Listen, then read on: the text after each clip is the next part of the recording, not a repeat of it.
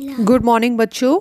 आज मैं आपको परिश्रम का फल समझाऊँगी। क्या होता है? ये कहानी है इसके माध्यम से।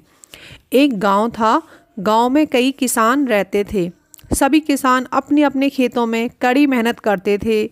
उसी गाँव में लाल सिंह नामक एक किसान भी रहता था। लाल सिंह बहुत ही परिश्रमी किसान था। वह अकेले ही अपने खेत की जुताई करता। उसमें बीज बोता, सिंचाई करता, खाद डालता और पूरे साल खेत की देखभाल करता था। उसकी फ़सल गाँव के सभी किसानों से अच्छी होती थी। इसलिए लाल सिंह एक धनी किसान माना जाता था। आसपास के गाँव में उसका खूब नाम भी था। लाल सिंह का एक ही पुत्र था, उसका नाम रूप सिंह था। वह चाहता था कि उसका पुत्र भी उसी की भांति एक सफल किसान बने। और गाँव में उसके पुत्र की भी यश और कीर्ति फैले।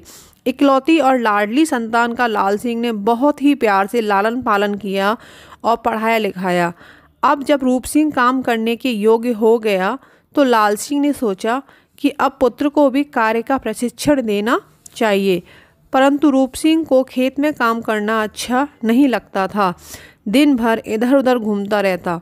लाल सिंह उसे कृषि संबंधी कार्य सिखाना चाहता था, परंतु उसका पुत्र रूप सिंह उसकी एक नहीं सुनता था। लाल सिंह ने उसे कई बार समझाया कि बेटा, परिश्रम से ही ज़िंदगी का गुजर बसर होता है, पर उसके कान पर जू तक नहीं रेंगती, उसे परिश्रम करना अच्छा ही नहीं लगता था। लाल सिंह बूढ़ा हो चला था। एक बार वह बहुत बीमार पड़ गया। अब उसे अपने पुत्र की चिंता सताने लगी।